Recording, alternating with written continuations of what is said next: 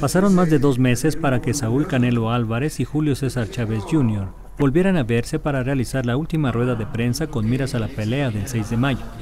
En el Teatro Kia y del MGM Gran Hotel, ambos pugilistas se declararon listos para ofrecer una batalla ante más de 20.000 espectadores en la T-Mobile Arena.